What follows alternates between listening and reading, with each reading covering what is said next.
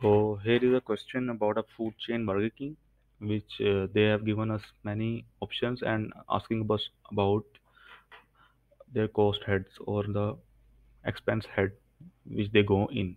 So the first option is cost of oil for the deep fryer. So this is the main equipment. So we can say it's a production.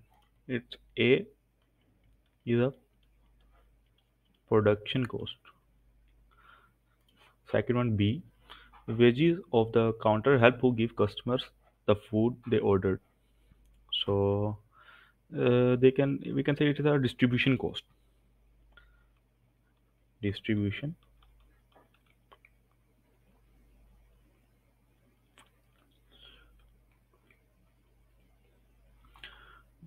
I'm uh, distribution cost. And the third one, cost cost of the costumes for the Burger of the King on the Burger King television commercial. So it's about a commercial and cost is incurring of the costume. You can say it's a marketing cost. C marketing cost. The next one is D cost of children toy given away free with kids meal. It's also a type of giveaway or a marketing cost. We can say the D is also the marketing cost. D marketing cost. And uh, next one is E cost of poster indicating the special two cheeseburgers for $2.5. This is also a marketing cost. We can say there is many marketing cost here as it's a food chain they spend mostly on their marketing.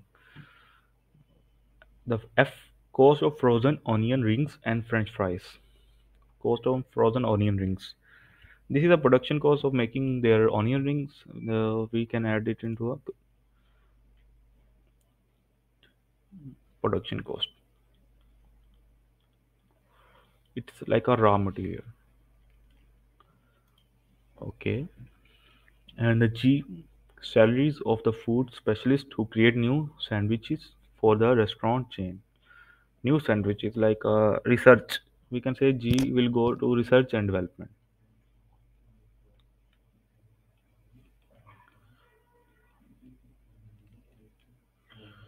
And development. The next one is H. To go back requested by the customer who could not finish their meal in the restaurant. So this is for the customer who couldn't complete their meals in the restaurant. We can say it goes in customer services.